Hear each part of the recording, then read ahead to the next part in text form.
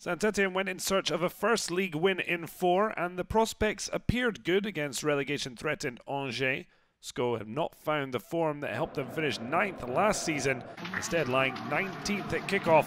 However, Stéphane Moulin hoped they could maintain their unbeaten start to 2017 after victory in the French Cup and a point earned last week against Bordeaux.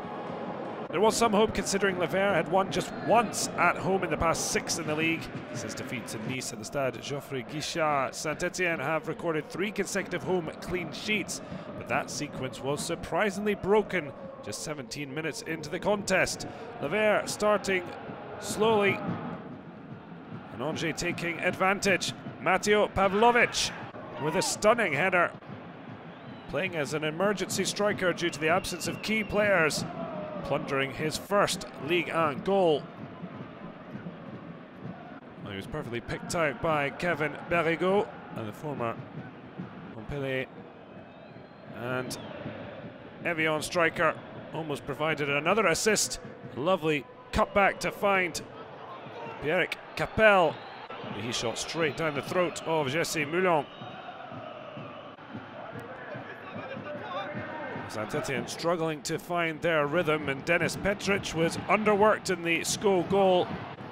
Managing to cut out the shot come cross from Kevin Malcuit. Well, the first goal conceded at home for Saint Etienne since their last defeat against Nice. Not a good omen at the break. However, Les Verts were unbeaten in 12 top flight meetings with Angers at the second half to try and turn it around. Things began to heat up on the pitch, and six minutes in, Saint Etienne were level. Romain Hamouma taking the applause, but it was Abdoulaye Bamba who was the unfortunate SCO player to knock it past his own goalkeeper. Petric left with no chance. Les Verts were level. Angers still looked a threat, and Moulin needed a strong hand to keep out Mangani.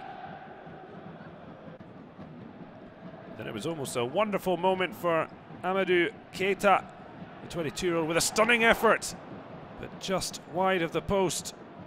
It's just his second appearance and first start, but just curling past Petric's right-hand post. Set pieces were causing problems for Les Verts, Mehdi Jean Tara a headed effort. Moulin with a straightforward save. But it was Saint who bundled in the winner following a set piece. Loic Perrin getting a slice of luck. And his 24th league on goal for Saint Etienne, the second of the season. Saint Etienne moving up to sixth with Angers remaining deep in the relegation quagmire.